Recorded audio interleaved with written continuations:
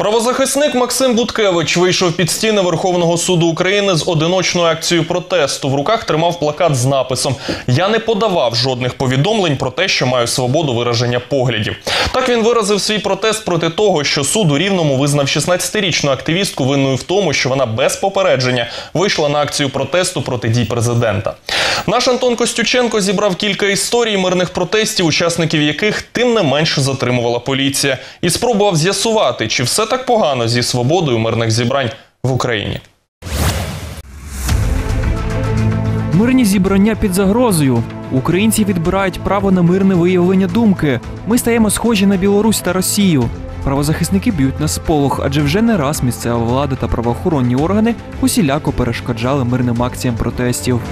Так, у жовтні минулого року у Маріуполі група активістів протестувала біля стін мерії проти забруднення повітря. Чиновники та поліція просили припинити акцію. Мовляв, вона проводиться незаконно. Нет никакой заявки На на октябрь, на день на ваше массовое мероприятие. Нет. Почему должна быть заявка? Кто об этом знает? Я простой города. Мне заявка не надо. Пізніше одного із активістів затримали за несанкціонований мітинг, хоча такого формулювання у законі не існує. Це не єдиний приклад порушення прав українців. Так, у лютому цього року у столиці на контрактовій площі активісти зібрались на акцію Хто замовив Катю Гандзюк. До протестувальників одразу підійшли правоохоронці і, недовго думаючи, почали затримувати людей.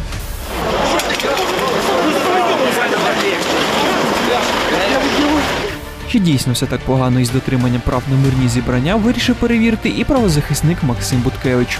Він вийшов під Верховний суд України із плакатом, на якому було написано: Я не подавав жодних повідомлень про те, що маю свободу виражень поглядів. Максим вийшов один, потім до нього приєдналось ще декілька людей. Реакції довго чекати не довелось. До них вийшов чоловік, який представився заступником керівника охорони Верховного суду.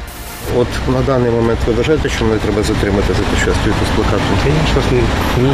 Це Будь ласка, це ваше право. Мирно поспілкувались та на тому й розійшлись. Чому ж Максим Буткевич вирішив вийти на такий протест? Пояснив все у своєму Фейсбуці.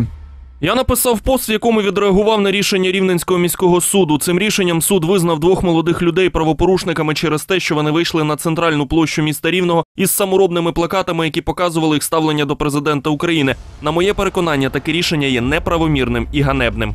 У травні у Рівному двоє підлітків, 16-річна Дар'я Коцюрюба та 20-річний Роман Філюк, вийшли на акцію протесту за імпічмент президента Володимира Зеленського. Поліція їх затримала за те, що вони, мовляв, не повідомили про своє зібрання заздалегідь.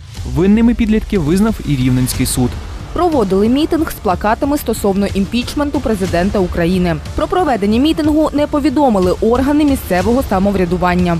Що ж відбувається? Відповіді шукаємо спочатку в Конституції України. 39 стаття дійсно містить інформацію про попередження органів місцевого самоврядування.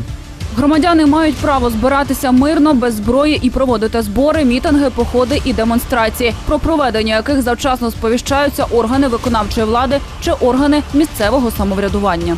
Проте, пояснюють експерти, це не більш ніж рекомендація. Вам не потрібна згода на проведення акції. Ви просто попереджаєте про свій намір.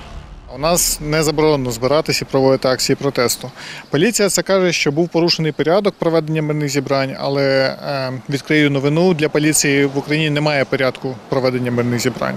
Є е, в конституції така норма, що варто повідомляти про це, але ну про зібрання, але це е, норма рекомендаційна.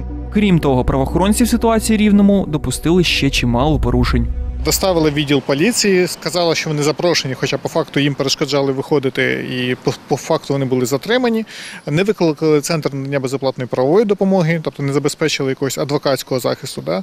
А, склали протоколи про неналежне там виховання дитини. Більше того, правоохоронці мають охороняти мирні зібрання та лише контролювати дотримання правопорядку. Інша справа, що поліцейські могли вбачити якісь провокаційні наміри з боку активістів. Нас взагалі затримувати можна тільки для того, щоб припинити якесь правопорушення або якийсь злочин. Тому здається, що в даному випадку рішення суду не було дуже вдалим та обґрунтованим. Після історії у Рівному не лише Максим Буткевич вирішив перевірити, чи затримають його через одиночну акцію. Активісти виходили з різними плакатами, і жодних непорозумінь з поліцією не було. Якщо ж все таки відбувається затримання, правозахисники радять звертатись до суду і відстоювати своє право на мирне зібрання. Якщо не склали суді першої інстанції йти в апеляцію, якщо не апеляція, а це адміністративний процес, тоді скоріше за все треба буде йти в Європейський суд з прав людини для того, щоб скаржитись. Право на мирне зібрання одне з фундаментальних прав людини. Українці з його допомогою вже не раз змінювали історію нашої країни. Тому миритись з хаотичними перешкоджаннями і затриманнями на акціях протестів не можна за жодних обставин. Важливим елементом боротьби за права. За право на мирне зібрання є солідарність.